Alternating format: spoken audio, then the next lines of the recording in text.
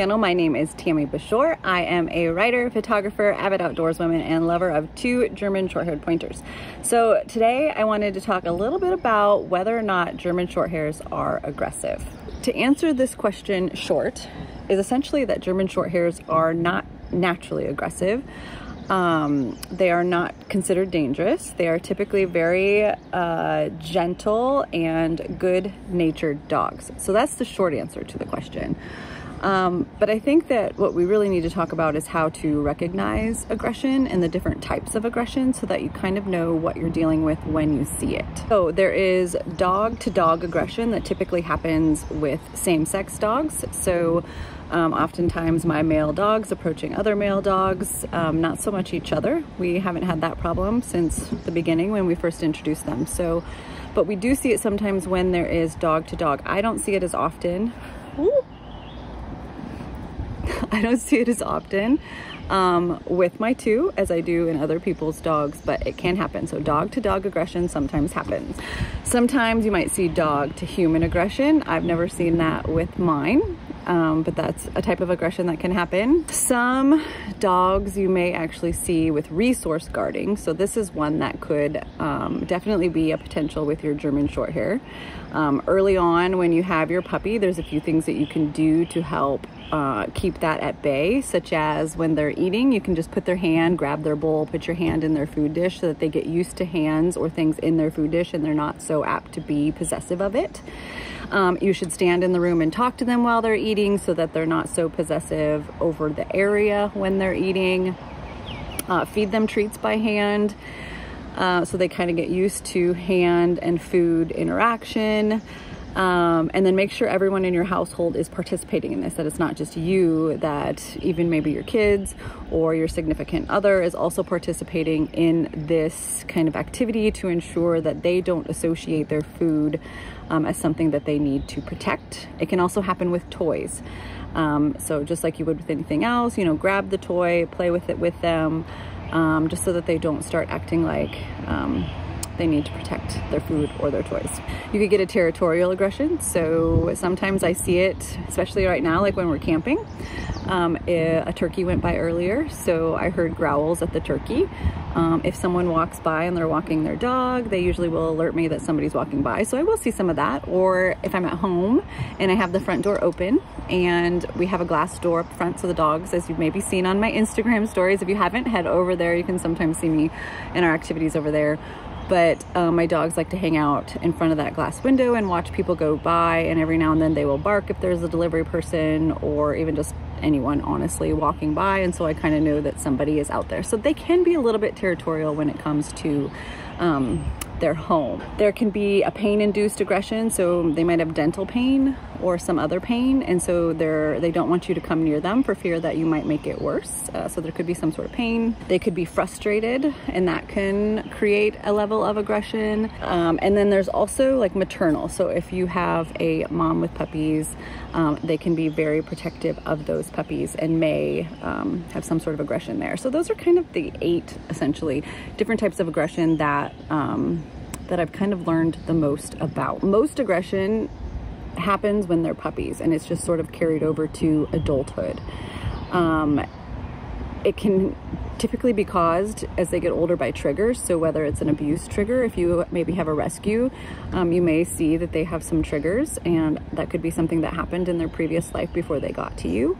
Um, so it could be an abuse trigger, it could be just fear, um, maybe an incomplete socialization. People didn't spend enough time socializing their dogs around other dogs and people um, some sort of issue, issue from their puppyhood, some sort of possessiveness, any of that could be a trigger for them that causes aggression. And it typically starts early on as a puppy, which is why it's so important to work with your puppies and not neglect them. So there's two different ways that we look at aggression. So there's true aggression, something that we really need to be careful of, and then there's the perceived aggression. And so your first step is figuring out, sorry, I have bugs that keep like biting my ankles, so I keep itching. So it's first figuring out is this a true aggression that I need to deal with or is this something that is just perceived?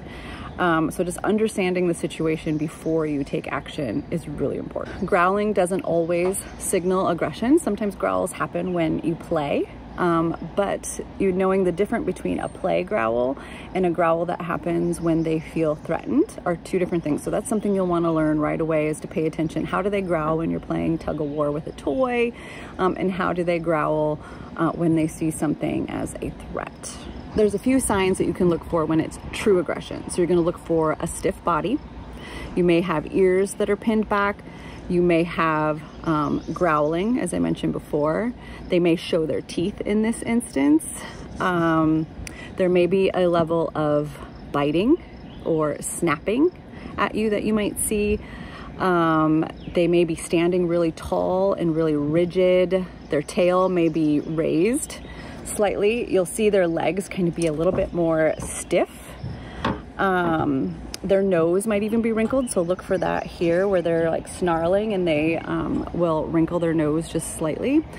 Um, so those are some things that you can look for when you really see true aggression versus like perceived aggression is really going to be more of like a play biting where they actually don't chomp down.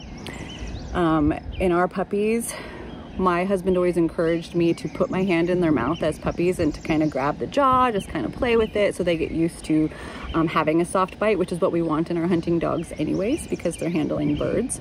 Um, so that's typically why we've done it is to keep their bite soft, but it also serves a purpose that you can kind of tell the difference between a play bite and something that obviously is more serious. You might see play growling, which typically happens while they're still, their body is moving and a little bit more loose. Um, they typically won't show their teeth or snarl um, or wrinkle their nose when it's play growling. You'll just hear kind of a growl um, as they're playing.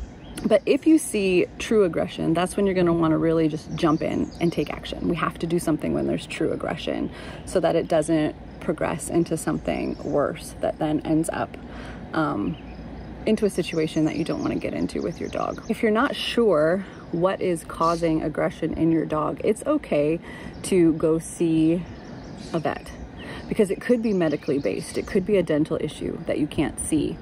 Um, it could be some sort of a UTI even um, can cause aggression in some dogs. So it could be something medically related that your vet needs to check out first. And if it isn't medically related, they may be able to refer you to some sort of behavioral vet, a dog or a vet that can handle um, dog behaviors and help them get it corrected. So don't be afraid to seek help. We don't have to fall, figure out everything on our own when it comes to dogs. Um, there's so many experts out there and um, I rely on experts anytime I'm trying to understand something or do something. And so um, I don't think we should be afraid to reach out to those people, find those professionals. Most aggression is rooted in fear. So ensuring that we're not punishing our dogs or being aggressive in our punishment to correct aggression because aggression won't correct aggression. And so how we are correcting our dogs becomes important. And so just like they can learn how to deal with aggression or not be aggressive we as owners can learn how to encourage their behaviors and encourage the correct behaviors by working with professionals um, that can teach us that. Don't try to treat it on your own. There's so many people out there that can help us make sure that our dogs are happy. Dogs want to be happy. They don't want to be aggressive. Um, and it's definitely most often a learned behavior and we just have to work to kind of course correct to go a different direction. Um, my boys, as you have probably also seen on my Instagram, love to growl while they play, whether they're playing together or playing with us. And so I definitely have learned the difference versus like this morning when a turkey went through our campsite and the teeth were out, the nose was scrunched and they were snarling at that turkey that turkey had gotten into their space. So you'll get used to it. You'll learn kind of the differences and what you're looking for. Um, and like I said, it's okay to find someone to help you if you can't figure out how to fix what's happening. Those people are out there.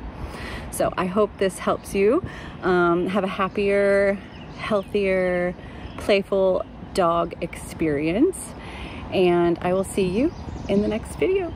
Thanks for watching.